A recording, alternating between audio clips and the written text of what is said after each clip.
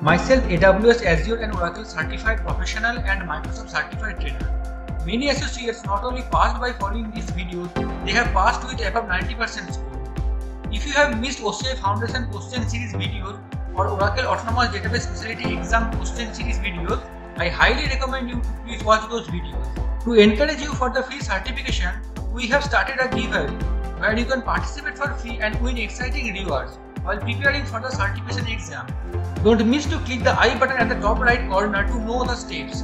Links available in the video description as well. If you are new to this channel, please subscribe and press the bell icon now. Let's start. Question 1. Which statement is not correct about autonomous database maintenance on dedicated Exadata infrastructure? And the options are A. Autonomous Exadata infrastructure maintenance takes place at least once each quarter and is mandatory. B. If a scheduled container database maintenance run cannot take place, Oracle will automatically reschedule the container database maintenance for the following quarter. C. You can change your container database maintenance window or reschedule a single container database maintenance run to ensure that your container database maintenance runs follow infrastructure maintenance within the same quarter. And D. Autonomous Exadata infrastructure maintenance runs are for infrastructure patching, including patching of the Exadata grid infrastructure code and operating system updates, and include database patching. Now analyze the options. Option A Autonomous Exadata infrastructure maintenance takes place at least once each quarter and is mandatory. As per OCI doc, Exadata infrastructure maintenance takes place at least once each quarter and is mandatory. So the statement is true, but the question asks to choose false statement. So this is incorrect. Option B, if a scheduled container database maintenance runs cannot take place, Oracle will automatically reschedule the container database maintenance for the following quarter. If a scheduled container database maintenance run cannot take place because of changes made to infrastructure maintenance schedule or any other reason, Oracle will automatically reschedule the container database maintenance for the following quarter. So option B is also valid statement, hence incorrect.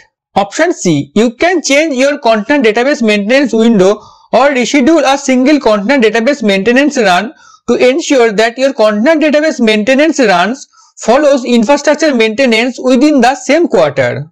This is also correct statement. So invalid option.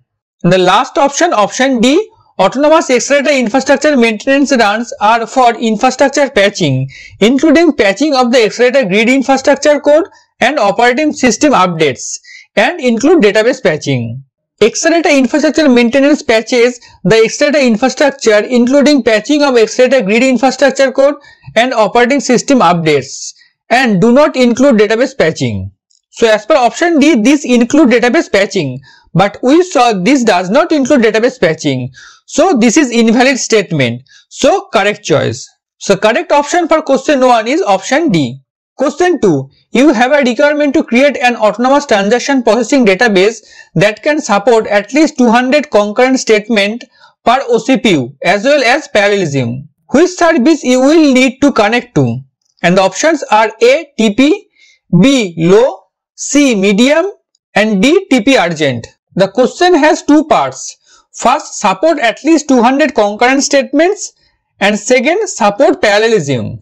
If you have a look into this table, you could see only 3 database services support concurrent statements more than 200. These are TP Urgent, TP and Low. Now regarding the parallelism, low connection service does not run with parallelism. So we have left with two options, TP and TP urgent. Now TP also does not run with parallelism. So the right answer is TP urgent. Option A TP. This is incorrect as although this provide more than 200 concurrent statements but this does not provide parallelism. So incorrect choice. Option B low. This also does not provide parallelism hence incorrect. Option C medium. This does not provide more than 200 concurrent statements. So this is also incorrect. Option D TP urgent. This is correct. TP urgent support more than 200 concurrent statements as well as parallelism. So the correct option for question 2 is option D. Question 3. For Fleet admin to access dedicated Exadata infrastructure, which policy should be assigned? And the options are A. Allow group ADB admins to manage autonomous database family in tenancy. B. Allow group ADB admins to manage autonomous database in tenancy where target.workload type equal to DW. C. Allow group ADB admins to manage autonomous database in tenancy. And D. Allow group admins to manage autonomous database in tenancy where target.workload type equal to OLTP. Now analyze the options. Option A. Allow group ADB admins to manage autonomous database family in tenancy. The resource family covered by autonomous database family can be used to grant access to database resources associated with all the autonomous database workload types. So option A is correct. Option B. Allow group ADB admins to manage autonomous database in tenancy where target.workload type equal to DW. No, this is incorrect. This should be autonomous database family, not autonomous database. So incorrect choice. Option C. Allow group ADB admin to manage autonomous database in tenancy. This is also incorrect. Option D. Allow group ADB admins to manage autonomous database in tenancy where target.workload type equal to OLTP. This is also incorrect. So correct option for question 3 is option A. Question 4. Which statement is not correct when using automatic indexing on autonomous data warehouse? And the options are option A. Process includes identify candidates, create invisible auto indexes, verify with implement if performance improved and delete unused. B. You can control behavior at the statement level using the use auto indexes or no use auto indexes hints. C, You can use the DBMS auto index package to report the automatic task and to set your preferences. D. The indexing feature is implemented as an automatic task that runs at a fixed interval. And E. It is enabled by default. Point to be remembered, we have to choose invalid statements. So now analyze the options. Option A. Process includes identify candidates, create invisible auto indexes, verify with implement if performance improved and delete unused. You can use the DBMS auto index package to report on the automatic task and to set automatic indexing preferences. So option A is valid statement, hence incorrect. Option B, you can control behavior at the statement level using the use auto indexes or no use auto indexes hints. This is also valid statement, hence incorrect choice. Option C, you can use DBMS auto index package to report on the automatic task and to set your preferences. Yes, this is also true. We just saw it. Hence, invalid statement. Option D, the indexing feature is implemented as an automatic task that runs at a fixed interval. The indexing feature is implemented as an automatic task and runs at a fixed interval. So option D is also a valid statement. Hence incorrect choice. Option E, it is enabled by default. No, this is wrong. It is disabled by default. Automatic indexing automates the index management task in autonomous database. Auto indexing is disabled by default in autonomous database. So option E is correct choice. So correct option for question 4 is option E. Question 5. You need to create a new database via the Oracle Cloud Infrastructure CLI with the following requirements. Autonomous transaction processing, license included and shared infrastructure. Which parameter you won't use? And the options are A. License model, B. Is dedicated, C. DB type and D. DB workload. Now analyze the options. Option A. License model. This is the complete list of parameters which can be used. Few are mandatory and few are optional. If you scroll down, you can see license model is mentioned under optional parameter. So license model can be used. So this is incorrect. Option B is dedicated. Is dedicated is also available under optional parameter. So this is also incorrect. C DB type. DB type is not available under required parameter or optional parameter. So you can't use DB type. So option C is correct. Option D DB workload.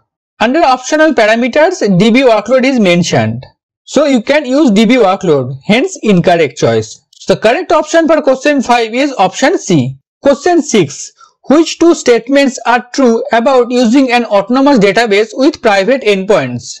And the options are A. Private endpoints can be configured when you choose a shared autonomous database that was initially created with public endpoints. B. You can configure private endpoints for an always free autonomous database. C. A network security group is required within your virtual cloud network before you can provision a shared autonomous database to use private endpoints. And D. An autonomous database with private endpoints can be accessed from the public internet by adding your IP addresses to an access control list. Now analyze the options. Option A private endpoints can be configured when you clone a shared autonomous database that was initially created with public endpoints. If your autonomous database instance is configured to use public endpoint, you can change the configuration to a private endpoint. And this is the detailed steps of how to do the same. So this is possible. Hence option A is correct. Option B you can configure private endpoints for an always free autonomous database. No, you cannot configure private endpoints for always free autonomous database. So this is incorrect. Option C, a network security group is required within your virtual cloud network before you can provision a shared autonomous database to use private endpoints. If you follow the steps we shown while describing the option A, you can see at step 6, you need to add network security groups. So this is correct choice. Option D, an autonomous database with private endpoints can be accessed from the public internet by adding your IP addresses to an access control list. No, this is incorrect. So the correct options for question 6 are option A and C. Question 7. Which two cloud services are supported to import data pump files from using dedicated Exadata infrastructure? And the options are A. Oracle Cloud Infrastructure Object Storage, B. Google Cloud Storage, C. Amazon S3, D. Azure Blob Storage, and E. Oracle Cloud Infrastructure Object Storage Classic. Oracle recommends using latest Oracle Data Pump version for importing data from data pump files into your autonomous database as it contains enhancements and fixes for a better experience. If you scroll down further, you can see you can use two storage for this. First, Oracle Cloud Infrastructure Object Storage and second, Oracle Cloud Infrastructure Object Storage Classic. So option A, Oracle Cloud Infrastructure Object Storage. This is correct. Option B, Google Cloud Storage. This is incorrect. Option C, Amazon S3.